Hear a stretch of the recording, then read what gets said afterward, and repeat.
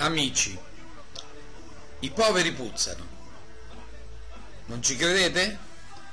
I poveri, I poveri puzzano non perché non si lavano, non perché non hanno i panni puliti, non perché ci chiedono l'elemosina, puzzano perché invadendo il nostro mondo, quel mondo del mulino bianco dove un imbecille parla a una gallina, disturbano le nostre case. Perché sono tutti ladri, perché si fanno sfruttare dalla delinquenza italiana e diventano da sfruttati anche coloro che vengono accusati di rubare il lavoro agli italiani, lavoro che gli italiani non vorrebbero mai fare, non, ha, non hanno più voluto fare in vita loro, i lavori più umili. Nonostante ciò vengono accusati di essere i disturbatori dell'economia, quando in un altro articolo ho già dimostrato che costoro dichiarano tasse e producono un prodotto interno lordo per,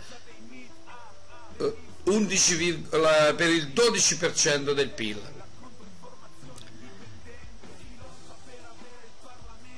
Dicevo, la malavita li sfrutta e il nostro cervello e la nostra ormai moribonda coscienza crea un'incoerenza che regna sovrana dentro i nostri modi di pensare. Molti accusano queste persone che sono razziste, che sono nazionaliste e via dicendo. Io dico che il razzismo molta gente lo interpreta ancora come quelli vestiti di bianco incappucciati di bianco con i fori degli occhi del KKK, del Ku Klux Klan, i razzisti per antonomasia, quelli americani. Quelli sono i meno pericolosi, potete starci, stare certi.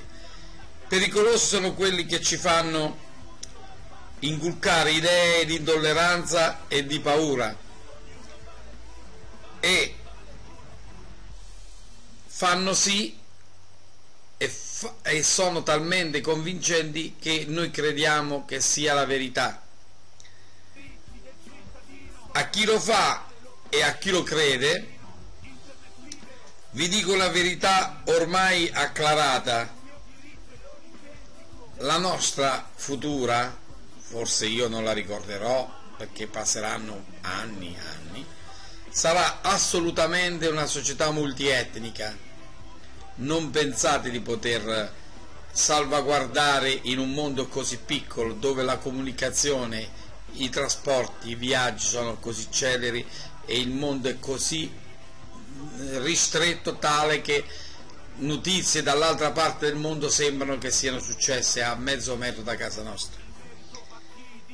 E per quelli proprio molto molto testardi nel voler, nel voler difendere la loro razza ariana, la loro integrità, mi riferisco specialmente in Italia a quelli della Lega, ma non solo a quelli, non voglio infierire facendovi scoprire una verità che è acclarata, che tutti quanti siamo africani, eh sì, siamo tutti africani perché il ceppo della nostra genealogia, i nostri geni vengono tutti dall'Africa. E quindi siamo noi stessi a turbare il nostro mulino bianco.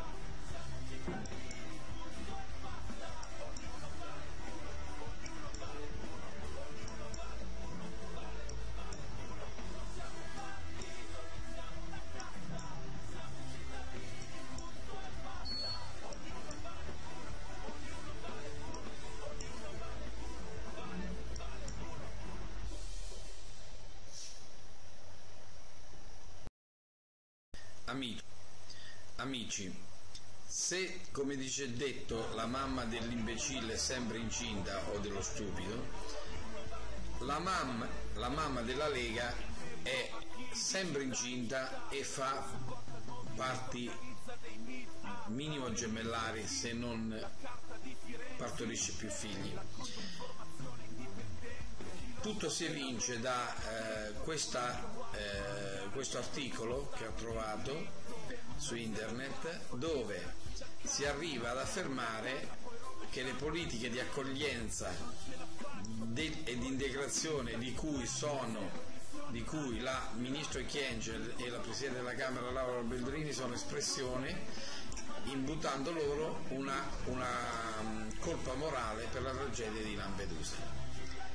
Adesso che eh, uno sia abituato a eh, sopportare qualsiasi cosa, ormai in Italia non ci fa più paura nulla, eh, l'Italia è il, la, la, fantascienza della politica, ehm, ma dopo che persone che hanno mh, mm, obbligato i propri alleati che non erano poi così obbligati come quel PDL a fare una legge eh, così razzista, così omofoba, così anti, eh, diciamo anticattolica come la Bossi Fini che oggi si è, eh, sale sul, sul pulpito per poter spiegarci che la colpa è di eh, Tizio, Caio e Sembronio, questo onestamente non è proprio, proprio più in, eh, accettabile.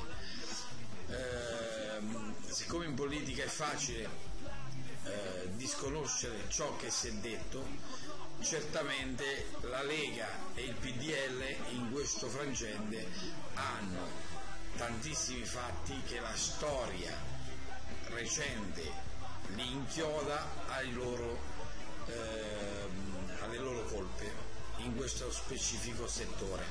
Analizzeremo quali sono le colpe come eh, l'impossibilità di qualsiasi peschereccio di salvare eventuali vite umane, altrimenti sarebbero incolpati di eh, andrebbero contro la legge che poi spiegheremo qual è.